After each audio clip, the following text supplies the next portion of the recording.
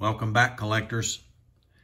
Very happy to show you a recent purchase, a $2 Federal Reserve banknote of 1918.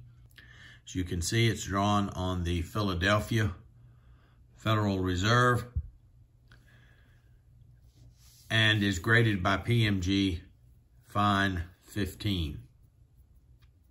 In doing some research about this note, I learned that Federal Reserve banknotes were payable by individual Federal Reserve banks, where Federal Reserve notes, the notes we still have today, are payable by the United States.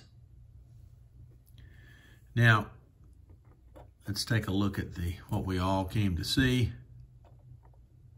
and that is the battleship on the back. We are told this is the, or is modeled after the USS New York, a 27,000 ton battleship of the period.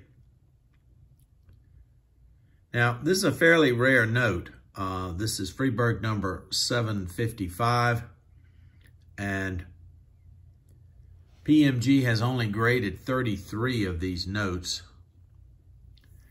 And in doing some research for this video, I learned from Heritage Auctions that only about 56 of these notes exist today.